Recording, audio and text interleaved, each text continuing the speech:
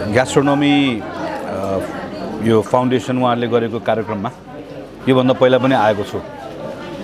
र जुन उद्देश्यको साथ उहाँहरूले यो कार्यक्रम गर्नुभएको छ यो उद्देश्य एकदमै ठिक भएको हुनाले गर्दा यसलाई अलिकति हौसला बढाउँछु भने आज दोहोऱ्याएर आएको म यो। रैथाने खानासँग जोडिएको एउटा कुरा त यो तपाईँले भनेको जस्तो यो सिधा स्वास्थ्यसँग जोडियो।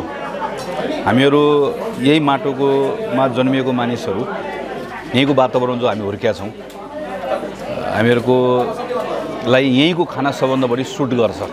हाम्रो पिता पुर्खाले जे खाँदै आए। पहिलो कुरा त यो स्वास्थ्यसँग जोडिएको विषय भयो। दोस्रो कुरा रैथाने हाम्रो आफ्नो उत्पादनलाई संरक्षण गर्ने प्रवर्धन गर्ने कुरा भनेको चाहिँ हाम्रो पर्यावरणसँग पनि जोडियो। तेस्रो कुरा यो ग्रामीण हाम्रो यहाँको अर्थतन्त्रसँग जोडियो।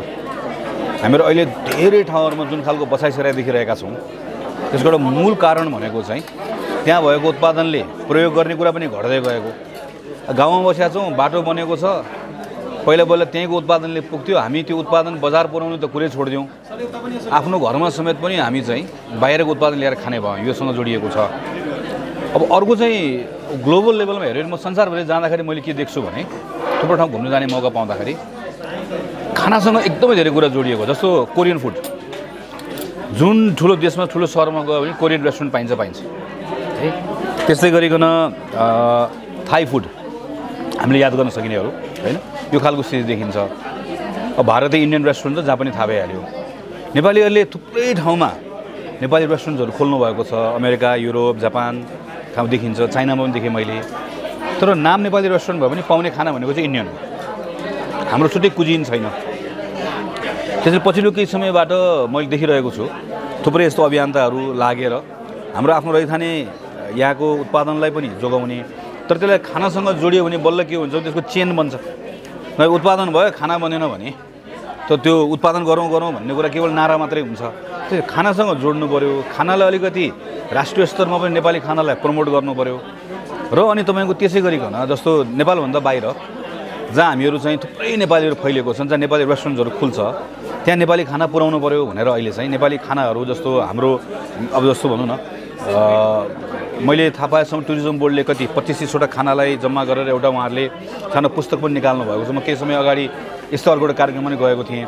यो खानालाई कसरी प्रमोट गर्ने हाम्रो अलि नयाँ नयाँ अलिकति नयाँ प्रयोगहरू पनि कसरी गर्छु अहिले यहाँ म यो सिस्नु खाइरहेको छु होइन। अब मैले अघिल्लो पटक यही कार्यक्रममा आउँदाखेरि यो खाएको थियो। अब यसलाई नेपालको रेस्टुरेन्ट्सहरूमा सजिलैसँग उपलब्ध हुने यसमा नि केही नयाँ प्रयोगहरू होला। होइन हाम्रो स्वादसँग मिल्ने कुरा यसलाई कसरी बनाउने भन्ने कुरा होला। र फापर भयो होइन। फापर त अब हामी नियमित जस्तो घरमा प्रयोग गर्छौँ तर मैले थाहा पाएसम्म एकदम कम घरमा मात्रै खा फापर प्रयोग हुन्छ। अब हाम्रो बुवाहरू फापर बनाउने ठाउँबाट आउनुभएकोले गर्दा होला हामीलाई फापर अलिकति बढी ज्ञान पनि भयो होइन। त्यसरी हाम्रो उत्पादन आफ्नै घरको भान्सामा कसरी बढी प्रयोग गर्ने र मूल कुरा चाहिँ यसरी यसलाई खानाको रूपमा ल्याएर यसलाई अलिकति यसको प्रचार प्रसार कसरी गर्ने भन्ने कुरा जुन उहाँले सोचाइ राखेर गर्नुभएको छ। यो टुरिज्म बोर्ड अथवा सरकारको केही निकायहरूले पनि यसमा अलिअलि काम त गरेको छ तर जति हुनुपर्ने भएको छैन होइन? स्थानीय स्तरबाट सामुदायिक स्तरबाट जे गर्नुभएको छ म एकदम ठुलो प्रशंसा गर्छु। मेरो अन्तिम कुरा चाहिँ यस्तोमा हो कि स्थानीय सरकार चाहिने भनेको चाहिँ? यो चाहिँ यो सबै कुरा सरकार भन्छ हाम्रो दिमागमा सङ्घको सरकार आउँछ। यो चाहिँ लोकल गभर्मेन्टले गर्न सक्छ। एकदमै सक्छ लोकल गभर्मेन्टले। कुनै एउटा लोकल गभर्मेन्टले मेरो एरियाभरि चाहिँ म स्थानीय खानालाई प्रवर्धन गर्छु पर्यटनसँग जोड्छु उत्पादनलाई यससँग जोड्छु भनेर मजाले गर्न सक्छ। बरु स्थानीय सरकारले गर्दाखेरि बरु त्यहाँनिर नि ग्याप देखियो भने चाहिँ सहयोग कसरी गर्ने भनेर अनि बल्ल केन्द्रको सरकारसँग जोडिन आयो भने बरु त्यो चाहिँ उपयुक्त हुन्छ होला भन्ने लाग्छ। अहिले लोकल सरकार मात्र होइन यसपालि सङ्घीय सरकारबाट पनि मेरै पहलमा अहिले प्रधानमन्त्री राष्ट्रिय उत्पादन प्रवर्धन कार्यक्रम भनेर अहिले सरकारले यसपालि त्यसलाई राष्ट्रिय कार्यक्रम पनि परेको छ। र चाहिँ यसपालि उत्पादन र उपभोगको दशक भनेर यो दुई हजार उनासी सालदेखि दुई हजार उनानब्बे सालसम्मको लागि राष्ट्रिय उत्पादन बढाउने उपभोग गर्ने भनेर सुरु भएको छ। त्यो अन्तर्गतको एउटा मेजर त्यसमा आठवटा कम्पोनेन्ट छ। त्यसको एउटा चाहिँ कृषि हो। जस्तो अहिले सरकारले उद्योग मन्त्रालयले लिड गरेर पहिला चाहिँ के भयो भने यो कृषि मन्त्रालयको काम उत्पादन बढाउने भनियो। उद्योग मन्त्रालयको काम उद्योग खोल्ने भनेर भनियो। होइन? त्यसपछि गएर लोकल सरकारसँग मैले कुरा गरेँ। लोकल सरकारले के भन्छ भने सङ्घको सरकारले जस्तो जस्तो भनौँ न तपाईँको सिस्नु भन्यो। अलिकति ढुवानीमा थोरै मात्रै त्यहाँभित्र चाहिँ तपाईँले सब्सिडी अनुदान दियो भने त्यो ढुवानीको अनुदानको कारणले गर्दा यसलाई बजारसम्म पुर्याउन सकिन्छ भन्ने छ। त्यसरी यो सबै कुराले एकै ठाउँ जोड्नु पऱ्यो भनेर प्रधानमन्त्रीलाई गएर कन्भिन्स गरेर प्रधानमन्त्रीकै नाममा चाहिँ प्रधानमन्त्री राष्ट्रिय उत्पादन प्रवर्धन कार्यक्रम भनेर अहिले बनाइएको छ।